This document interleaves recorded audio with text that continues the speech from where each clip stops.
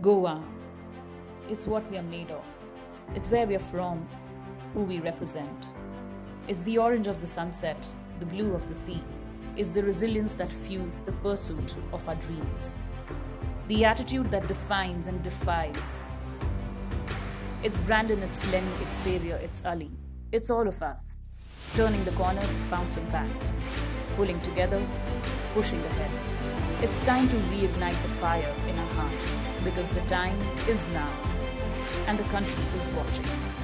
This state, this team, this moment, ever firm, ever determined. Through the sun and the rain, the joys and the pain. This is our time. It's time we rise again.